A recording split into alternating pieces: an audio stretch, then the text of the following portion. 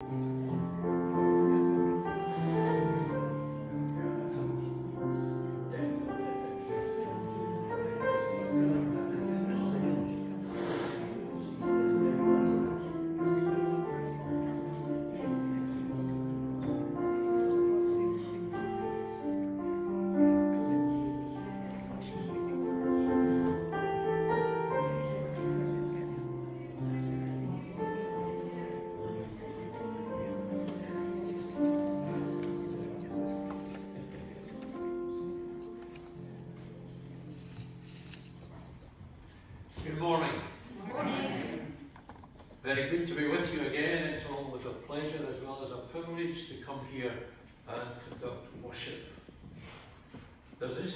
things on the notices at the back of the service sheet I would draw your attention to.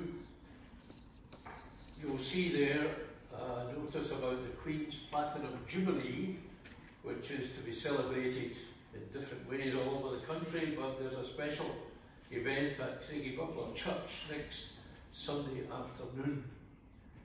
I leave you to read that at your leisure, but uh, there's all sorts of activities happening, obviously, and it's a very warm invitation, I think, to all the churches in the grouping. So anyone who wishes to go will be very welcome indeed. The other thing to say is that there's tea and coffee after the service, and you'll be very, very welcome there to meet up and catch up with other people in the congregation.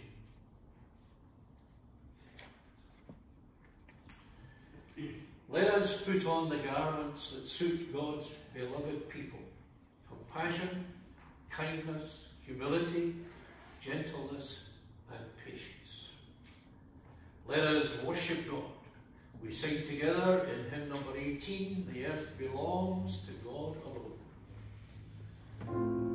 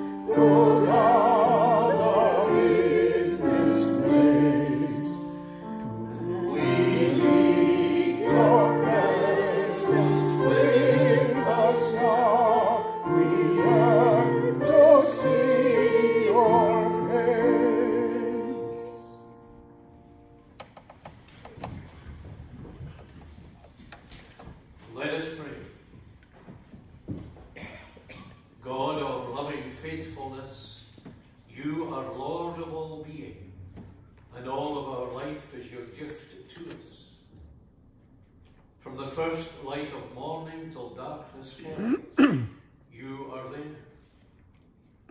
From the baby's first cry to the child's first step, from the adolescent's rebellion to the wisdom of age, you are involved in the mix and the mess of our lives.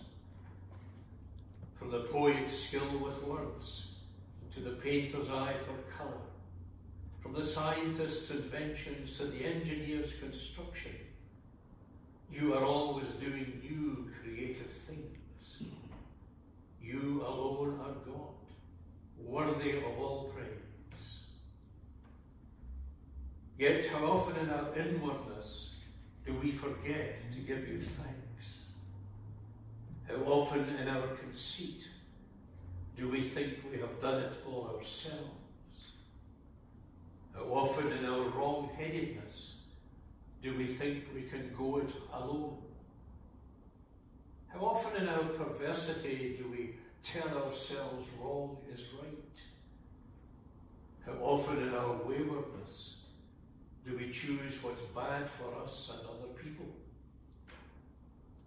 How often in our blindness do we fix our eyes not on the unseen things which are eternal, but on the things that are seen which are passing away. Too often is the answer, yet you never give up on us, never keep score of wrongs, never cast things up to us. So we trust ourselves again to your care, compassion, and kindness, believing that even now your love will draw us into goodness through Jesus Christ our Lord, in whose words we say together, Our Father, who art in heaven, hallowed be thy name. Thy kingdom come, thy will be done on earth as it is in heaven. Give us this day our daily bread, and forgive us our debts as we forgive our debtors. And lead us not into temptation deliver us from evil. For thine is the kingdom, the power, and the glory forever. Amen. And 436 is Christ triumphant, ever reigning Saviour, Master King.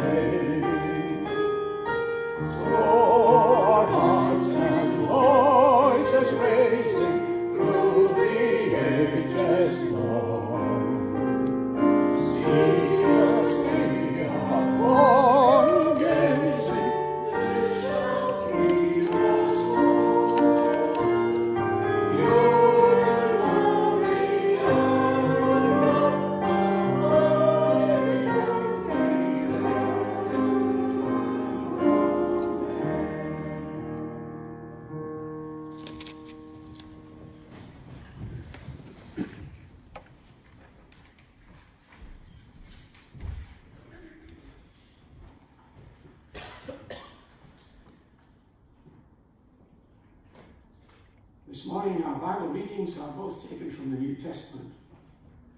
And first of all, the reading from uh, Paul's letter to the Ephesians, reading in chapter 1 from verse 15 through to verse 23. For this reason, Paul writes, Ever since I heard about your faith in the Lord Jesus and your love for all God's people, I have not stopped giving thanks for you, remembering you in my prayers. I keep asking that the God of our Lord Jesus Christ, the glorious Father, may give you the spirit of wisdom and revelation, so that you may know him better. I pray that the eyes of your heart may be enlightened in order that you may know the hope to which he has called you, the riches of his glorious inheritance in his holy people, and his incomparably great power for us who believe.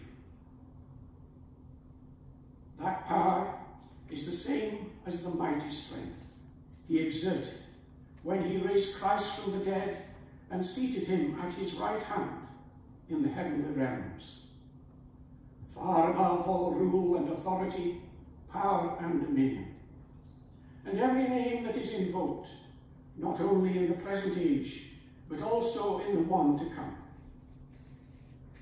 And God placed all things under his feet, and appointed him to be head over everything for the church, which is his body, the fullness of him who fulfills everything in every way. And then we read from the book of Acts, reading from chapter 1, from verse 1 through to the end of 11. This celebrates Jesus being taken up into heaven. In my former book, Theophilus, I wrote about all that Jesus began to do and to teach until the day he was taken up to heaven after giving instructions through the Holy Spirit to the apostles he had chosen. After his suffering, he presented himself to them and gave many convincing proofs that he was alive. He appeared to them over a period of 40 days, and he spoke about the kingdom of God. On one occasion, while he was eating with them, he gave them this command do not leave Jerusalem, but wait for the gift my father promised, which you have heard me speak about. For John baptized with water, but in a few days you will be baptized with the Holy Spirit. Then they gathered around him and asked him, Lord, are you at this time going to restore the kingdom to Israel? He said to them, it is not for you to know the times or dates the Father has set by his own authority. But you will receive power when the Holy Spirit comes on you. And you will be my witnesses in Jerusalem, and in all Judea and Samaria, and to the ends of the earth. After this he was taken up before their very eyes, and a cloud hid him from their sight. They were looking intently up into the sky as he was going, when suddenly two men dressed in white stood beside them. Men of Galilee, they said, why do you stand here looking into the sky? The same Jesus who was taken from you into heaven will come back in the same way you have seen him go into heaven. Amen. And thanks be to God for these readings from his holy word.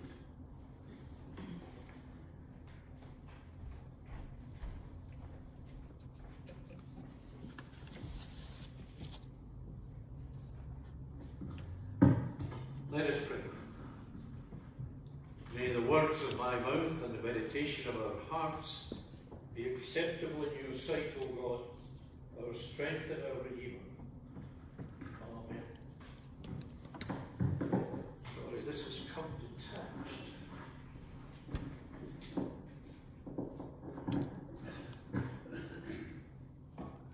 Okay.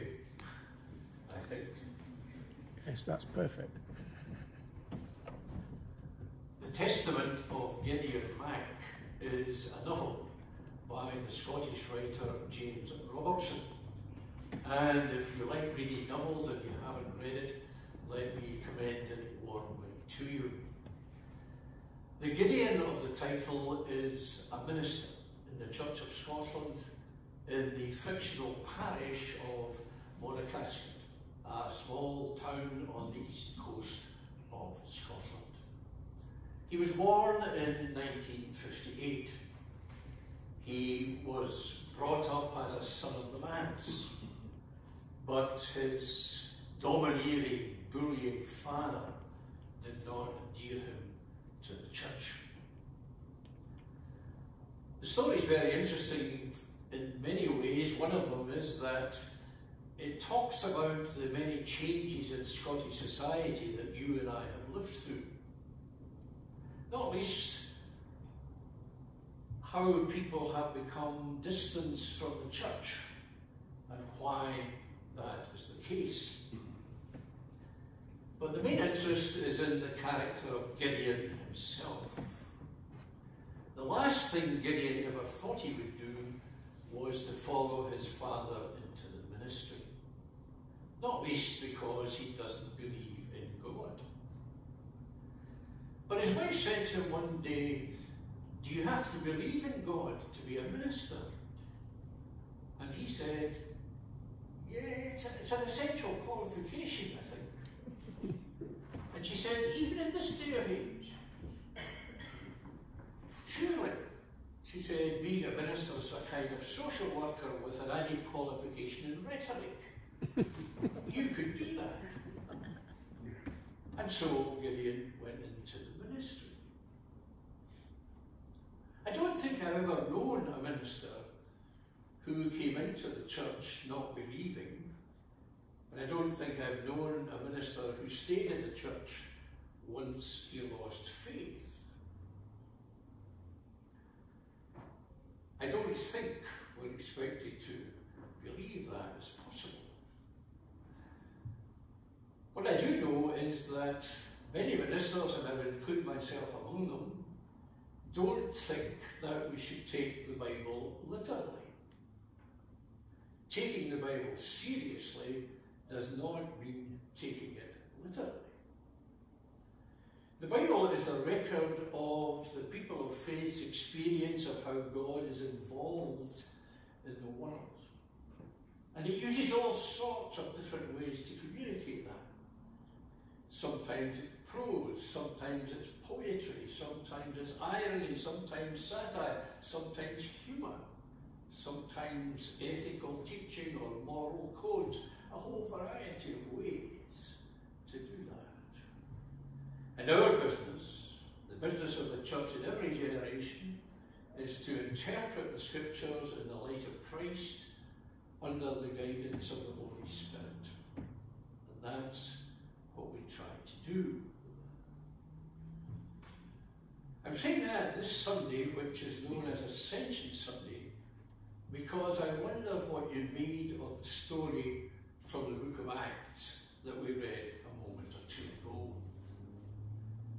Jesus, after telling his disciples to wait in Jerusalem till the power of the Spirit came upon them, then vanishes up into the sky.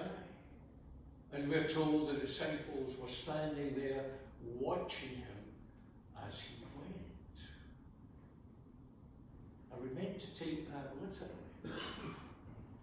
that Jesus whooshed up through the atmosphere till eventually he reached heaven, which we know is not a place, but a way of describing where God is.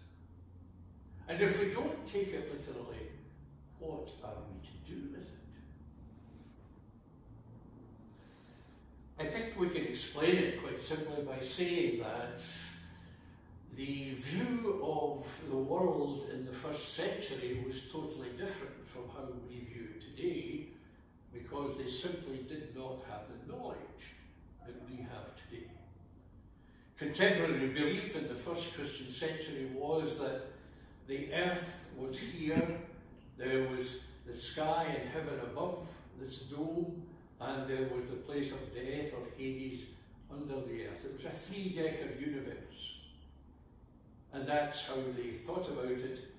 And so when they came to talk about the ascension of Jesus, they did it in the way it's done in the book of Acts. But what are we to make of it? I think we can make of it in the first instance, it's a way of saying that the Jesus who came from God went back to God.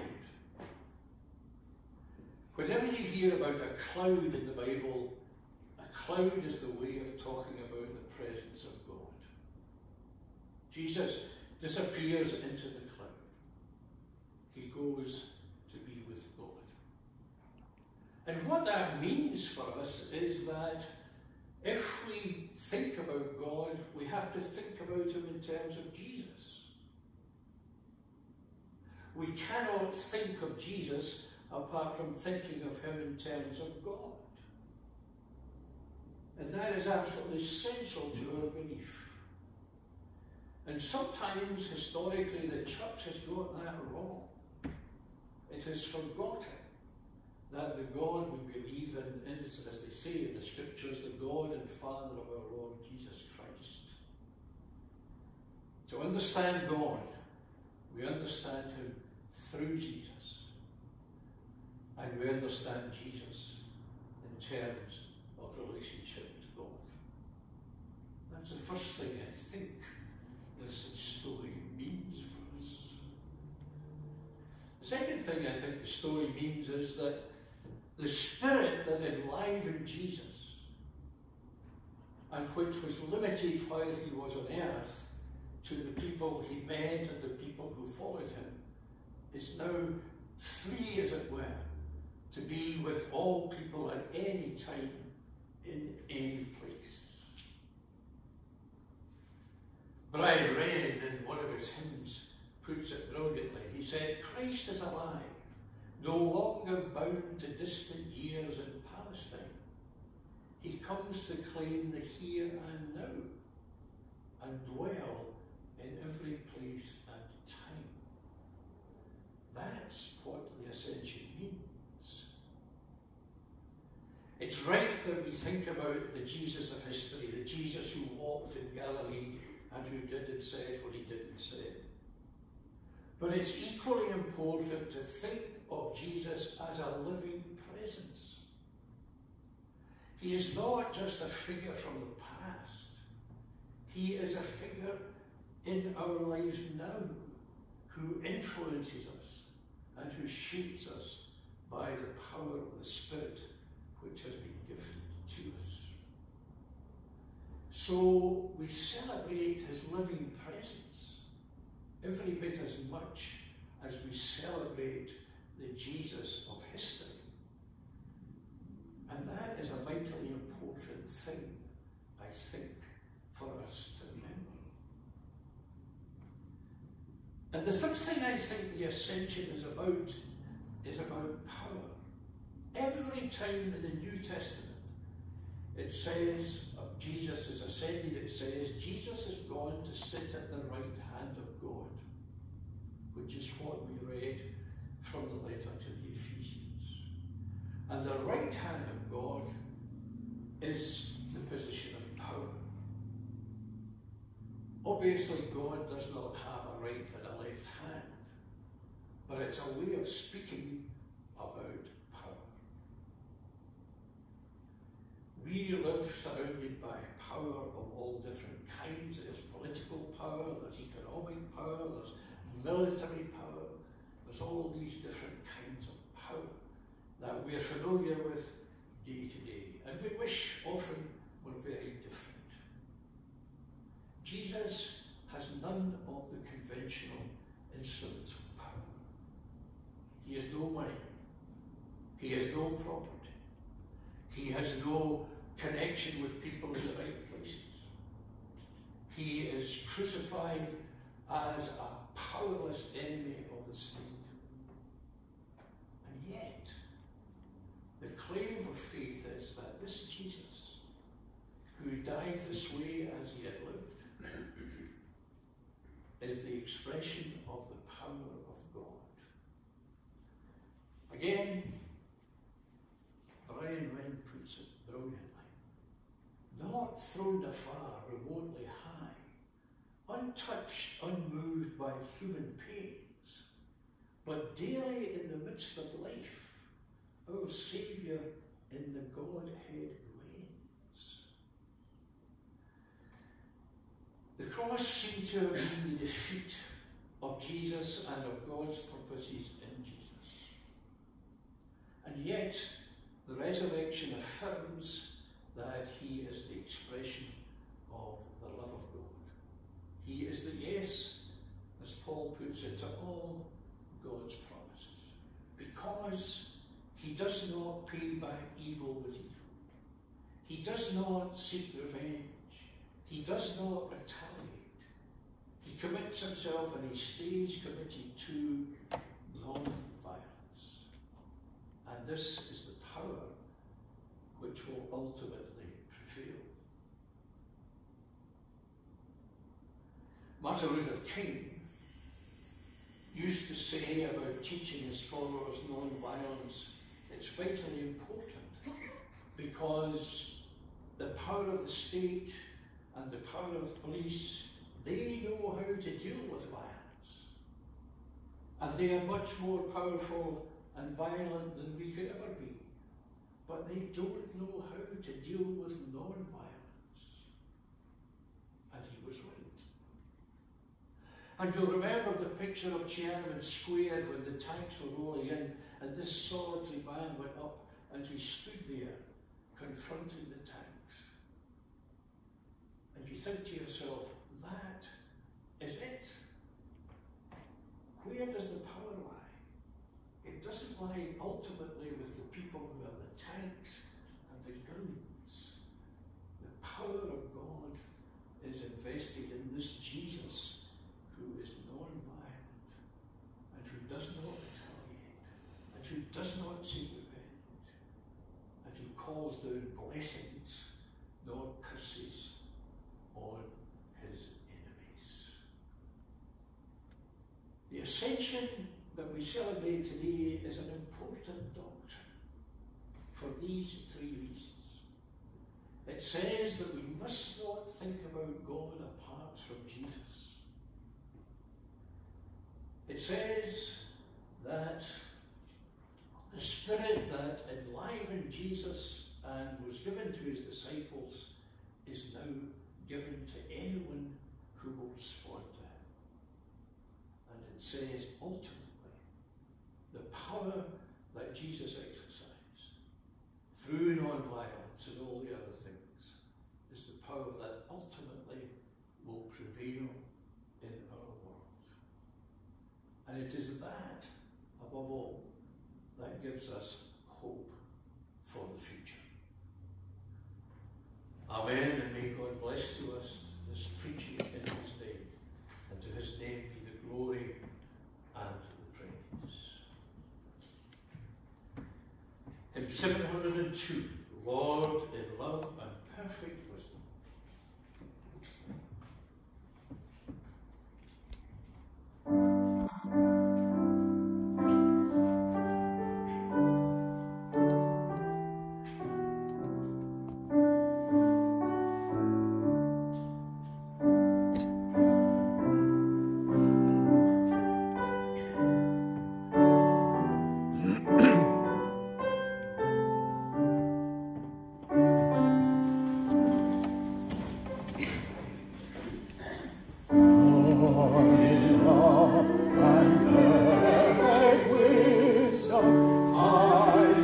see.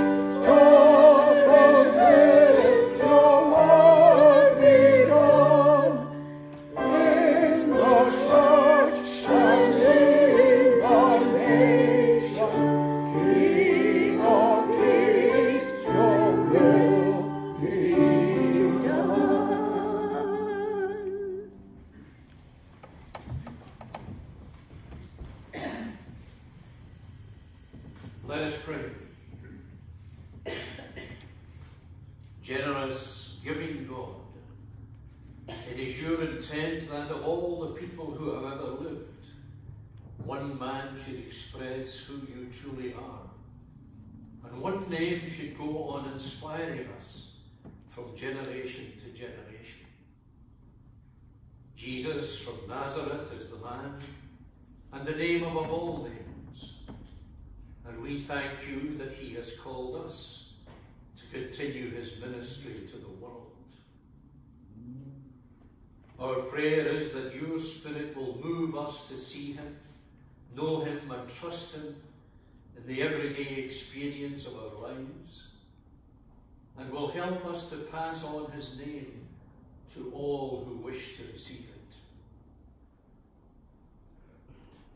Today we hold up to you for blessing those with big names and positions of. That they do not use it to bully or intimidate or to promote or benefit themselves, but use it to serve, to lift up those cast down, to encourage the faint hearted, to protect the weak and the vulnerable, and to advance the common weal. We ask your blessing in all required to make big decisions that directly affect the lives of others in health, education, law enforcement, in business, employment, transport, in energy and climate change, that they can balance competing interests and come to wise decisions that bring the greatest good to the greatest number. And among the many troubled places of our world, we remember those suffering in the gun culture of the United States. We remember the people of Ukraine. And we pray for the people of Israel Palestine bring an end to house demolition, to children being put in prison, to pass laws and harassment, to cruelty and violence and lies presented as truth, so that peace with justice may yet prevail. Lord, hear our prayers, and let our cry come to you in the name and for the sake of Jesus Christ our Lord. Amen. 449, rejoice, the Lord is King, your Lord and King and